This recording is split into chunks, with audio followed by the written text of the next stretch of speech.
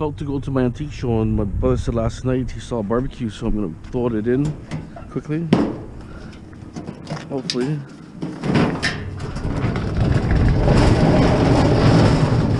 Uh, you can probably hold from here. Uh, I'll hold from here. Go on the other side, and we'll get my clothes dirty.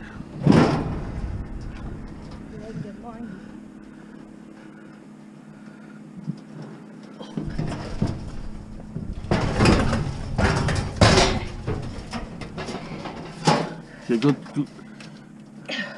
Just you get it in?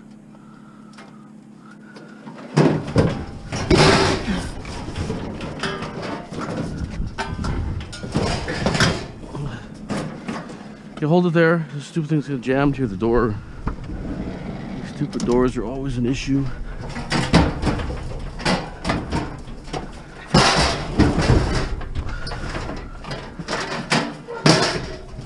Wait. Seatbelt. Still got the ring. And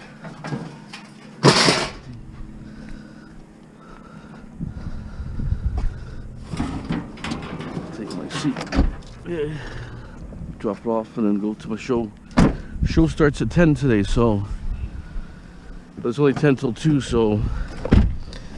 Only four hours, you're not getting much done. Four hours, usually it's slow in the morning and around 1, 2 o'clock is when it picks up, so. Okay, let me just drop this off and go to the show. And if there's anything interesting at the show, I'll do some video. I'll show you a few things here and there and so on. Okay. Baskets and so on, and uh, some of these baskets are like a hat like that. Look at the quality of workmanship into this. Slow you down. Really cool looking stuff. So I see a bunch of arrowheads and beads, different things here. Spears, paddle, paddle guards, knives.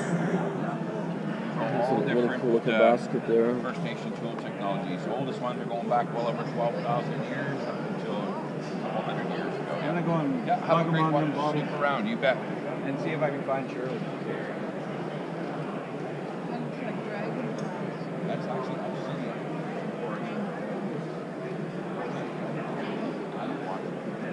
So this vendor's a friend of mine, and uh, he's agreed to show a couple things on, uh, uh, narrate some things I can show you. Uh, he'll explain a couple things. So, please So, stand by. Can you tell me a little bit about some of these things? All these projectiles are atlatl atlatl darts, spears, knives, arrowheads.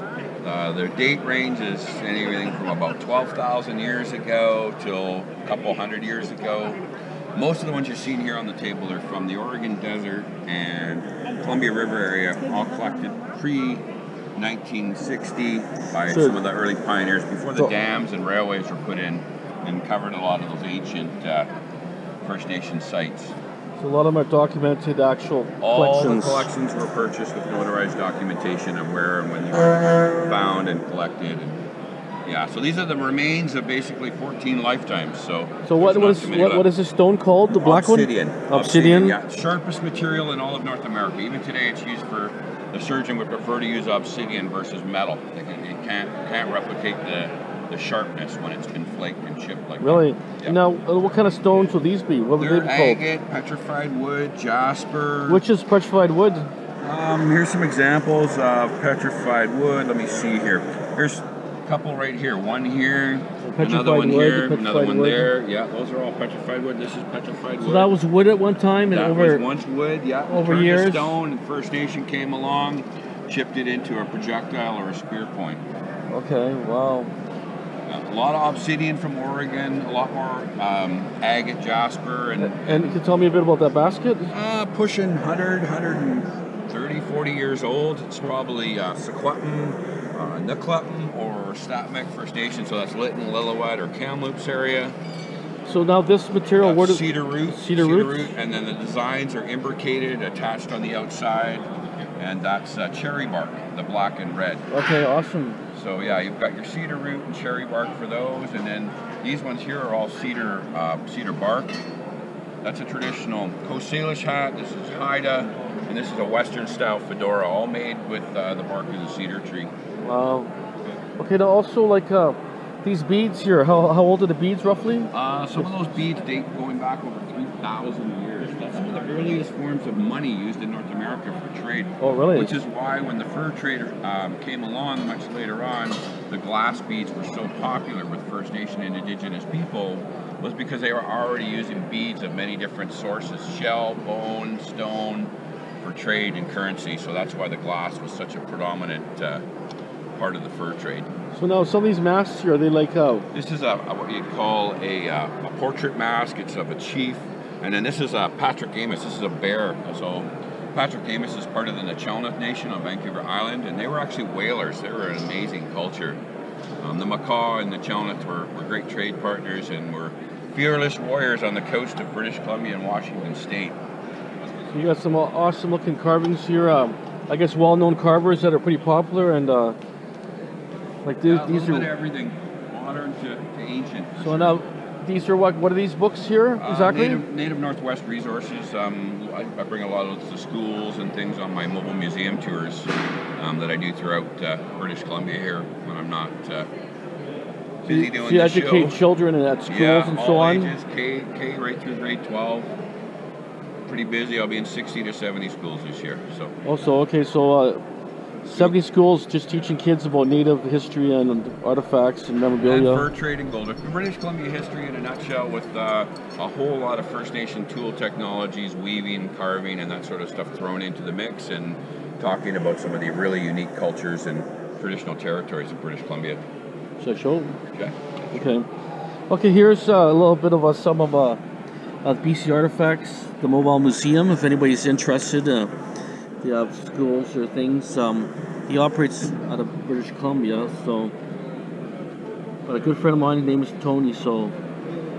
I appreciate it, Tony. Thank you very much for uh, a little bit of information for my okay for my viewers and that. They'll definitely appreciate a little bit of history that you gave out there. Thanks. Cheers. thanks. Tune in. Sign them up. Thank you very much. Got some pretty cool little things here and showcases.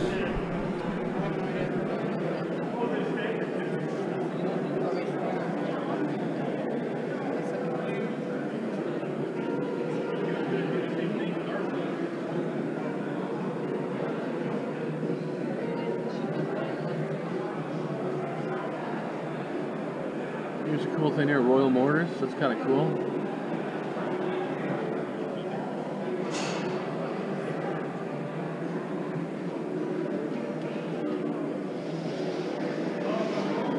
tell you, there's a lot of uh, variety here. Something for everyone.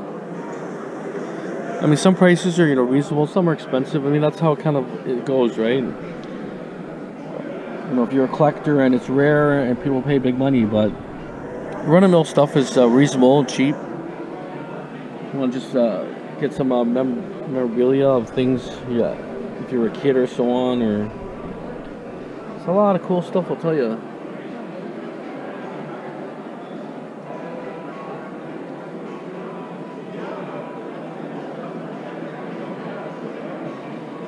It's a bunch of military badges here.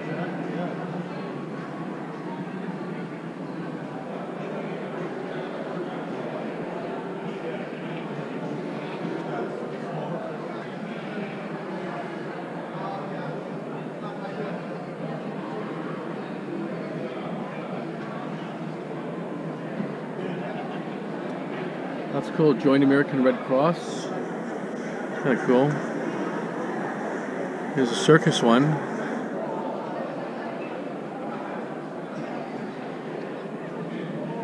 Yeah, just a good variety, I'll tell you. There's one here for San Francisco. From Canadian Airlines, advertising San Francisco. Or Canadian Pacific, well, Canadian Airlines, whatever, Canadian Pacific. Cool. Cool product here. Um, a friend of mine, it's his uh, kids. Um, there's a little product here where instead of you know how you have you don't have loonies and quarters and stuff to get a buggy, they have a little product here. You slip it in, turn it, and it bypasses the the card itself so that you don't have to put no money in. This is your actual money. So tell us a bit about the product, guys. So this thing called the Cart Boss, you just slip it into the cart and it unlocks automatically, like as seen in the video. So he's got a little, little bit awesome of a thing video. about this, Yeah. it has a hole so you can put it on your keychain. So you're never gonna lose it. So when you stick it in, you gotta turn it sideways and pull it out, it. and you got a free cart. See, I'll do a little demonstration again. Come. Help yourself. Yeah. And next next time you don't have change, you'll have this in your keychain. It's got a hole in it and everything. So how do you get the product, guys? From Amazon, Amazon.ca, Amazon.ca, eBay.ca, and Etsy.ca. Okay, so they're on Get Etsy, Amazon, and um, search- eBay, You search and it's Cart called Boss. the Cart Boss search right Cart here. Boss. Right. You search Cart Boss Yeah. right here on Amazon.ca, eBay.ca, or Etsy.ca. Yeah, awesome, awesome product, guys. And it's Awesome, guys. Hey, thanks very Yeah. much for this display here. yeah, and you'll see it on Amazon right here. Oh, here it is. Amazon's is. Choice. Amazon Choice, Got a lot of reviews. five stars already. Yeah, instructions for how to use it. Um, things like that. Now the key thing that Put sets ours in, apart you know, from it's the just other like the ones video. is that you can put it in, take it out. The other ones that they sell at T&T and stuff, you have to leave it in. And then Okay. your keys are just dangling from Exactly. You there. don't It's want your keys annoying. sitting there. Someone yeah, steal so your keys. put it on Yeah. Easy. So ideally, this comes out automatically. Okay, And awesome. also, one more thing, it works Yeah. on works on all the carts except for these, which are kind of rare. There's a little, there's Yeah. a bar that you have to insert, right? So Yeah. you know, I think when you put it, th- these ones are okay because all you have to do, you normally just put a coin in it, right, and that's Yeah. it, and Yeah. it unlocks. But with this one, right, you have to, you know, put a coin in it and then put a bar in it.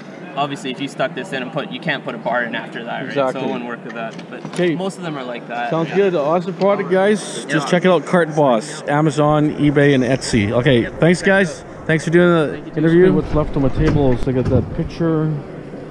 Uh, just is what's basically left here. Bottom of the barrel. That's it. I made just over 200 today. 204 or something.